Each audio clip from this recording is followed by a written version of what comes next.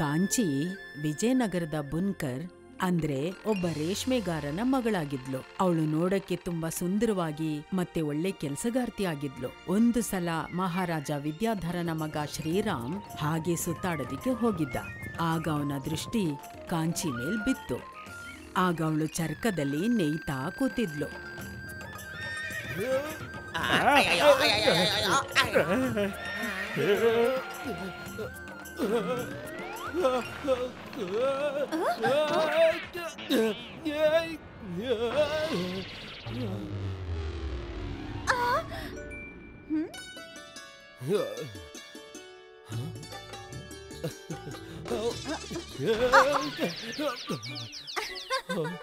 ಕಾಂಚಿಯ ಸೌಂದರ್ಯವನ್ನ ನೋಡಿ ಯುವರಾಜ ಶ್ರೀರಾಮ ಬೆರಗಾಗೋದ.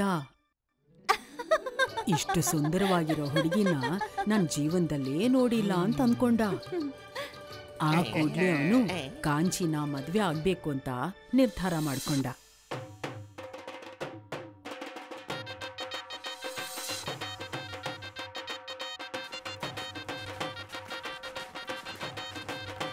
ಮದ್ವೆ ಆಗಿ ಅವಳನ್ನ ಅರಮನೆ ಕರ್ಕೊಂಡು ಬಂದ. ಕಾಂಚಿಗೋಸ್ಕರ ಅರಮನೆಯಲ್ಲಿ ಎಲ್ಲಾ ವ್ಯವಸ್ಥೆಗಳು ಆಗಿತ್ತು. ಆದ್ರೂ ಕೂಡ ಅವಳಿಗೆ ಖುಷಿನೇ ಇರ್ಲಿಲ್ಲ. ಯಾಕೆಂದ್ರೆ ಕಾಂಚಿಗೆ ಚಿಕ್ಕ ಹುಡುಗಿಯಿಂದ ಅವಳು ಕೆಲಸ ಮಾಡೋದ್ರಲ್ಲಿ ಖುಷಿ ಸಿಕ್ತಿತ್ತು. ಆದ್ರೆ ಇಲ್ಲಿ ಕಾಂಚಿಗೋಸ್ಕರ ಎಲ್ಲಾ ಕೆಲಸ ಮಾಡ್ಕೊಡೋದಕ್ಕೆ ಕೆಲಸಗಾರರಿದ್ರು. ಆದ್ರಿಂದ ಅವಳು ಇಲ್ಲಿ ಯಾವುದೇ ಕೆಲಸ ಮಾಡೋದಕ್ಕೆ ಆಗ್ತಿರ್ಲಿಲ್ಲ. ಅದಕ್ಕೆ ಅವಳು ಅರಮನೆಯಲ್ಲಿದ್ರೂ ಕೂಡ ಅವಳ ಮನಸ್ಸಿಗೆ ನೆಮ್ಮದಿ ಇರಲಿಲ್ಲ.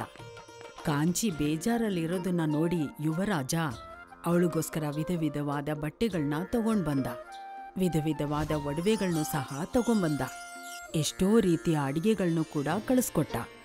ಆದರೂ ಕೂಡ ಕಾಂಚಿಗೆ ಖುಷಿನೇ ಇರಲಿಲ್ಲ. ಒಂದಿನ ಕಾಂಚಿ ತೋಟದಲ್ಲಿ ಕೂತ್ಕೊಂಡು ವಿಶ್ರಾಂತಿ ತಗೋತಿದ್ಲು. ಹಳ್ಳಿ ಜೀವನ ಎಷ್ಟು ಚೆನ್ನಾಗಿತ್ತು. ನನ್ನ ಕೆಲಸನ ನಾನೇ ಮಾಡ್ಕೋತಾ ಇದ್ದೆ. ಎಷ್ಟು ಜನ ಇರ್ತಾ ಇದ್ರು ಅಕ್ಕಪಕ್ಕ ಮಾತಾಡೋದಕ್ಕೆ. ಆದರೆ ಇಲ್ಲಿ ಯಾವ ಕೆಲಸನೂ ಇಲ್ಲ. ಮಾತಾಡೋಣ ಅಂದ್ರೆ ಅಂತ ವ್ಯಕ್ತಿನೂ ಇಲ್ಲ.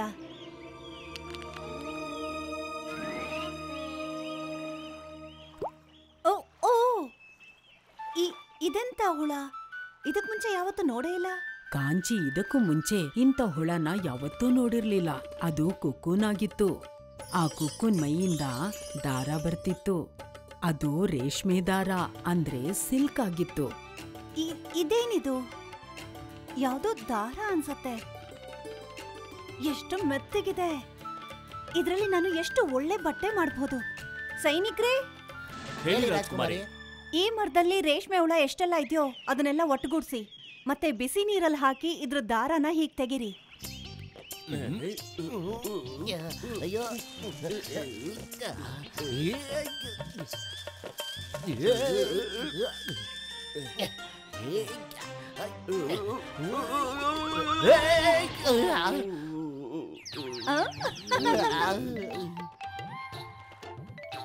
ಅಯ್ಯೋ ಆ?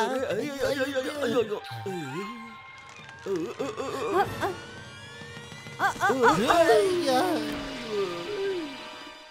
ಹಾ?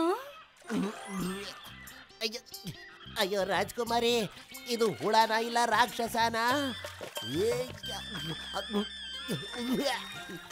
ಕಾಪಾಡಿ. ಕಾಂಚಿ ಆದೇಶದಂತೆ ಸಿಪಾಯಿಗಳೆಲ್ಲ ಮರದಲ್ಲಿದ್ದ ಎಲ್ಲಾ ಕೊಕ್ಕುನ್ಗಳನ್ನು ತೆಗೆದು ಬಿಸಿನೀರಲ್ಲಿ ಹಾಕಿದ್ರು. ಅದರಿಂದ ತುಂಬಾ ರೇಷ್ಮೆ ದಾರ ಬಂತು. ಇದನ್ನ ನೋಡಿ ಕಾಂಚಿ ತುಂಬಾ ಖುಷಿ ಪಟ್ಲು ಮತ್ತೆ ರೇಷ್ಮೆ ದಾರದಿಂದ ಬಟ್ಟೆನ ನೆಯ್ಯೋದಿಕ್ಕೆ ಅವಳು ಒಂದು ಯಂತ್ರ ತರಿಸಿದ್ಲು. ಈ ಬಟ್ಟೆ ಅದ್ಭುತವಾಗಿದೆ. ಇಷ್ಟು ಮೃದುವಾದ ಸುಂದರವಾದ ಬಟ್ಟೆಯನ್ನ ನನ್ನ ಜೀವನದಲ್ಲೇ ನೋಡಿರ್ಲಿಲ್ಲ. ನಾನು ಕೂಡ ನೋಡಿರ್ಲಿಲ್ಲ. ಮತ್ತೆ ನನಗ್ ತುಂಬಾ ಖುಷಿ ಆಗ್ತಾ ಇದೆ. ನಿಮಗಿಷ್ಟ ಆಯ್ತಲ್ಲ ಅಂತ. ನಾನು ಇದೇ ತರ ಬೇರೆ ಬಟ್ಟೆಗಳನ್ನು ಮಾಡಕ್ ಇಷ್ಟಪಡ್ತೀನಿ. ಹಾ ಹಾ ರಾಜ್ಕುಮಾರಿ. ನೀವ್ ಎಷ್ಟು ಬೇಕಾದರೂ ಬಟ್ಟೆಗಳನ್ನ ತಯಾರು ಮಾಡಿ.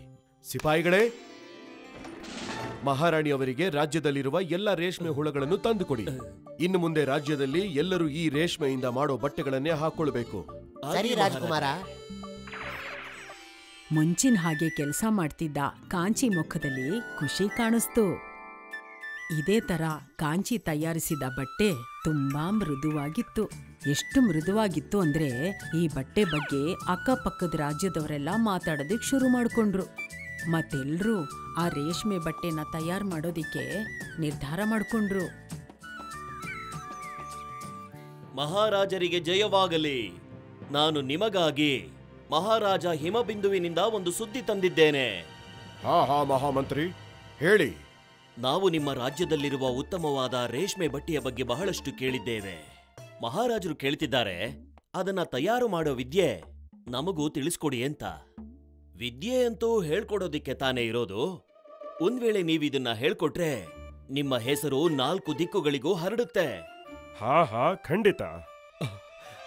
ಹಾ ಕ್ಷಮಿಸಿ ಮಹಾರಾಜ ನಾನೇನೋ ಹೇಳಬೇಕು ಅಂತಿದ್ದೀನಿ. ಅದೇನು ಹೇಳಿ ಯುವರಾಜ? ಈ ವಿದ್ಯೆ ನಮ್ಮ ರಾಜ್ಯದ ಆದಾಯವಾಗಿದೆ. ನಾವು ಈ ವಿದ್ಯೆಯಿಂದ ವ್ಯಾಪಾರ ಮಾಡಬಹುದೇ ಹೊರತು ಈ ರಹಸ್ಯವನ್ನ ಯಾರಿಗೂ ಹೇಳೋ ಹಾಗಿಲ್ಲ.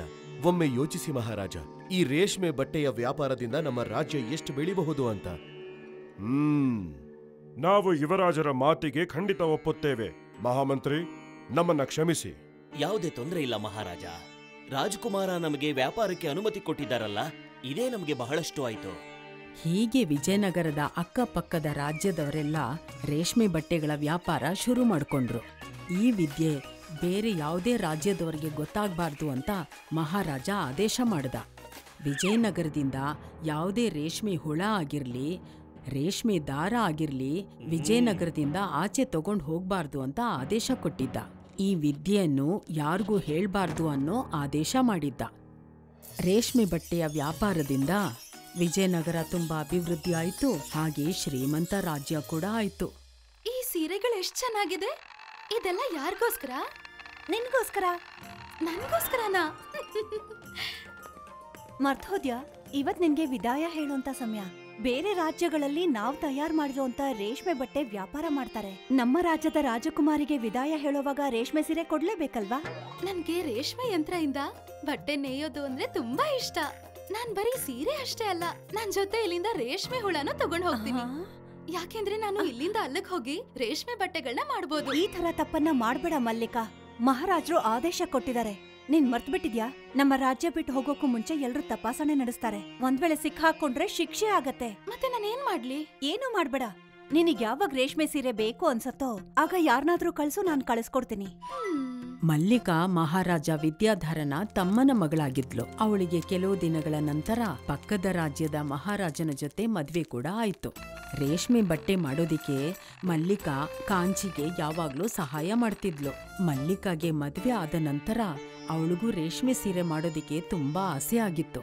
ಆದ್ರೆ ಕುಕ್ಕು ನಿಲ್ದೆ ಇದನ್ ಮಾಡಕ್ ಆಗ್ತಿರ್ಲಿಲ್ಲ. ಅದಕ್ಕೆ ಅವಳು ಒಂದು ಉಪಾಯ ಮಾಡಿದ್ಲು.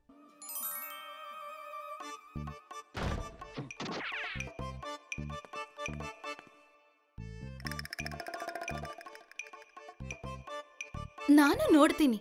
ಈ ರೇಷ್ಮೆ ಹುಳನ್ನ ತಗೊಂಡ್ ಹೋಗೋದ್ರಿಂದ ಯಾರ್ ತಡಿತಾರೆ ಅಂತ.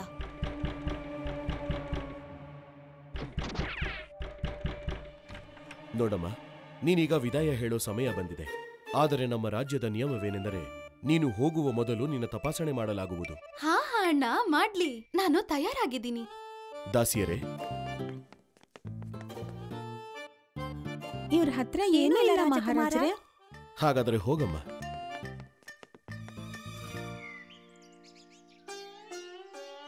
ಮಲ್ಲಿಕಾ ತನ್ನ ಬುದ್ಧಿನ ಉಪಯೋಗಿಸಿ ಕುಕ್ಕುನ ತಗೊಂಡು ಬೇರೆ ರಾಜ್ಯಕ್ಕೆ ಹೋದ್ಲು.